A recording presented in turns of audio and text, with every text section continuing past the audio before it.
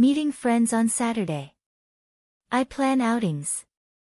I contact friends. I arrange gatherings. I choose a venue. I invite everyone. I plan activities. I confirm attendance. I get ready. I dress casually. I meet at the venue. I greet with hugs. I share laughter. I enjoy conversations. I order refreshments. I catch up. I reminisce old times. I share updates. I capture moments.